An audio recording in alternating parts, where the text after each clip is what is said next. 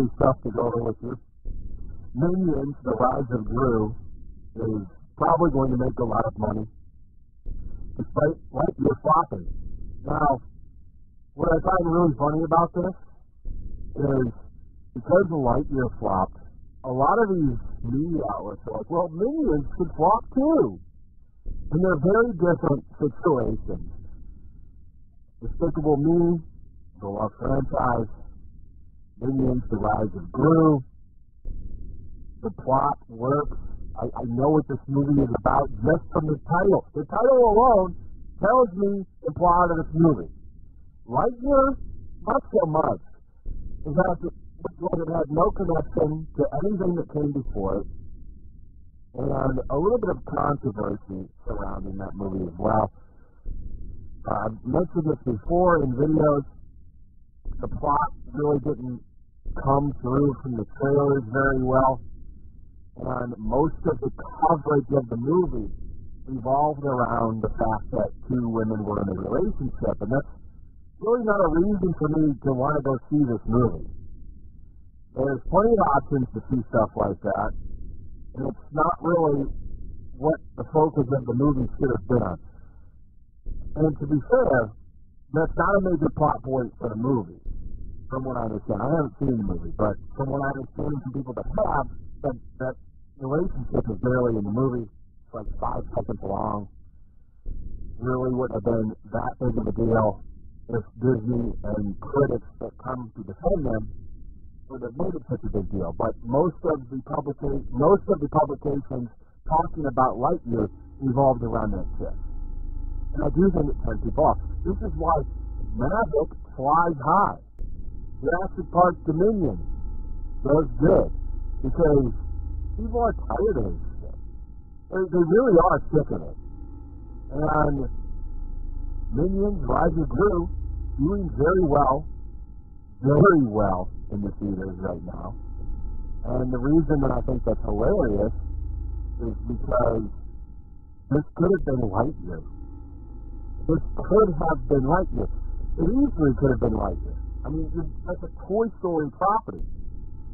But no, you decided to have the movie revolve around a bunch of bullshit, and you did it to yourself with that flop.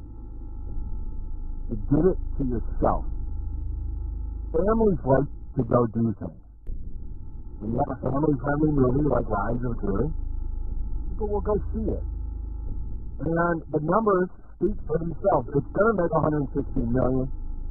And based off of just Thursday's preview numbers, it's already making money. This is just from Thursday. And I know it doesn't sound like a lot, but for a kids movie, this is quite a bit of money. So the market is there for these types of films. Now, what I find really funny and hilarious is the fact that outlets are trying to hurt this film now. This is Vox, Vox.com one of the true trash websites on the internet. Labor exploitation explained by minions. We can understand the entire history of the capitalist labor market through the Despicable Me franchise. it begins. They are, they're mad because of the fact that there's merchandise for the Something that's been going on for a long time with movies. Not really that big of a deal. But of course, yeah, stuff. What's so great and terrible about the Minions?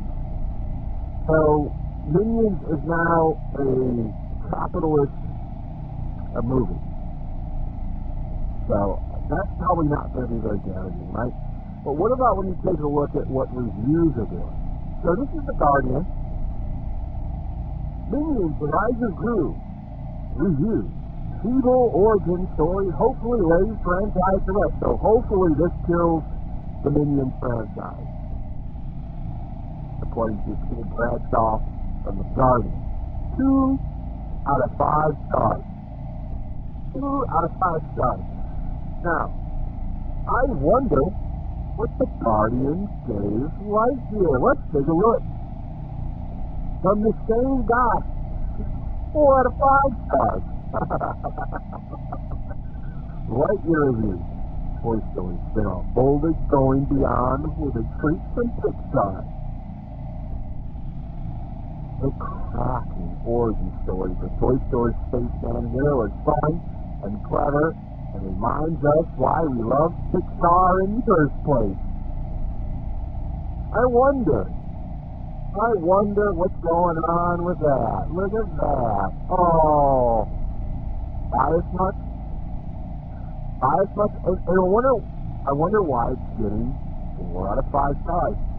Oh, could it be the LGBTQ plus representation? Looks like it is. A plot point, a plot thing that was, it, it was a five second thing. Literally, a blink and you miss it kiss is the reason to give this movie four out of five stars. This is what boosts your movies now. This is you want to trust critics, number one over here, Minions, oh, it's garbage movie. Awful. Awful. Maybe if it just had Gru kissing a minion, specifically a male minion, uh, it would have got four out of five. It just happens all the time. I love that it's the same guy that reviews these two movies too. Lightyear is good. Awful movie. Tim Allen even knows this out and talked about it. There's a video on this. Movie would have been a lot better off if Tim Allen had been a part of it, but they decided they didn't want to do that. He came out and the movie didn't make it didn't make any sense because it wasn't connected to Toy Story and why would you do that? So he was originally going to be involved. Actually, had nice things to say about it, but you know, why wasn't he a part of it? Why didn't have a connection somewhat to Toy Story? You could have literally did that. Because from what I understand, okay, and I think he, he did say this in his interview, Lightyear is not is not the so the toy from Toy Story is based on. It's its own thing, like a multiverse like Buzz Lightyear. Because the real Toy Story toy is based on Lightyear Star Command or something. It's confusing to even talk about it. So these are some of the reasons why the movie failed as well. But I still think uh, the two reasons why Lightyear failed, Tim Allen not being involved, big two stupid mistake. Second, all of the buzz and articles and talk around the movie was about the fact that two women are in a relationship and it's just not really something that's going to drag people into the theaters. It works well for reviews and headlines, but it doesn't seem to do very well when you try to get ass and seats. And then you just have a standard fun movie that's not trying to lecture you, like The Rise of Gru, and it pulls in money, but these reviewers, they don't like that, so they want to go ahead and try to destroy the movie. That's why The Guardian is so salty. This review came out uh, 22nd of June. Plenty of time to try to smear the movie. It did not work. It was making money. Actually going to be very successful, making more money than Lightyear did in North America in one weekend. so let me know what you guys think. What are your thoughts on all of this? I'd like to hear from you. Uh, come over to my locals and let me know. Great place to come and hang out, trying to build a community over there. There's a link in the description. Free. Also, if you want to support, you don't give YouTube any money. I know for a lot of people that's a big deal. I a chance to get around that. Also, if you would please like, subscribe, share the video. Make sure you still subscribe, hit that notification bell, all of that good stuff, and I will see you on the next one. Peace. Also, if you want to help support the channel, check out my Teespring store. There's a link in the description. You can find some merchandise in there that you might want to check out. Also, make sure to follow me over on Twitch. I do watch parties, play video games over there. They're always fun. Follow me over there and come hang out. Also, make sure you subscribe to Yellow Flash, my other channel. There's a link to that in the description as well. I do a lot of live streams over there, but I don't do on this channel usually smaller and a little bit more personal. So make sure you follow me over there and sign up.